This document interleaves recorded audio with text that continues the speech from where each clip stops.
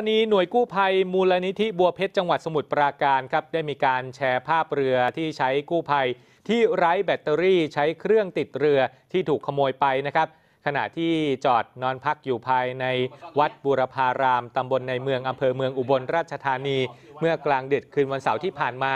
แล้วก็ทราบว่าเรือนั้นถูกขโมยแบตเตอรี่ในเช้าวันรุ่งขึ้นครับล่าสุดครับทางด้านตำรวจภูธรจังหวัดอุบลราชธานีไปจับกลุ่มตัวผู้ก่อเหตุ ที่ขโมยแบตเตอรี่เรือของหน่วยกู้ภัยบัวเพชรจำนวน 1 ลูก มูลค่า 3,500 บาทได้แล้วนะครับ หลังได้บาะแสจากชาวบ้านที่พักอาศัยอยู่ในละแวกนั้นนั่นแหละครับ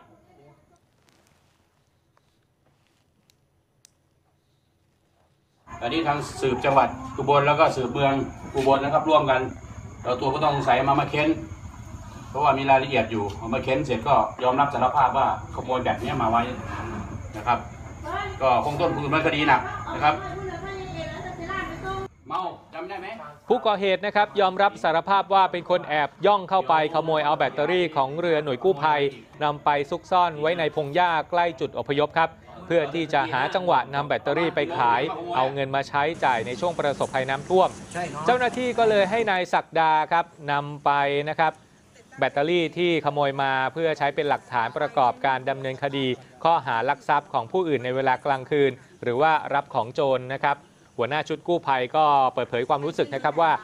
ตอนเกิดเหตุแรก ๆ ก็คิดอยากจะเอาเรือที่นำมาช่วยกลับนะครับ แล้วก็ให้เรือหน่วยงานมาสับเปลี่ยนทำหน้าที่แทน แต่ว่าหลังเกิดเหตุไปแล้วก็ยังคิดใหม่ครับจะอยู่ช่วยเหลือประชาชนต่อไป และก็ขอบคุณเจ้าหน้าที่ตำรวจจังหวัดอุบลราชธานีนะครับ ที่ใส่ใจติดตามจับกลุ่มตัวผู้ก่อเหตุ และก็นำแบตเตอรี่เรือมาคืนให้ในเวลาอันรวดเร็วครับครับถือว่าจับได้อย่างรวดเร็วนะครับแล้วก็มีสังคมออนไลน์เนี่ยก็พูดถึงกันเหมือนกันว่าทำไมเนี่ยชายคนนี้เขาถึงต้องไปขโมยครับเนื่องจากว่าเงินก็ไม่มีฮะอืมปัจจัยมันขาดอย่างกู้ภัยที่ลงปลาเนี่ยฮะคือชาวบ้านนะครับนอกจากที่ว่าเขาได้พวกข้าวสารอาหารแห้งไปแล้วนะแต่ว่าปัจจัยคือหมายถึงว่าเงินเนี่ยเป็นสิ่งสำคัญสำหรับเขามาก บางทีได้ 20 บาท 50 บาท100บาทนี่ถือว่าทำให้ชุ่มชื่นหัวใจขึ้นมาด้วยเหมือนกันนี่นะครับ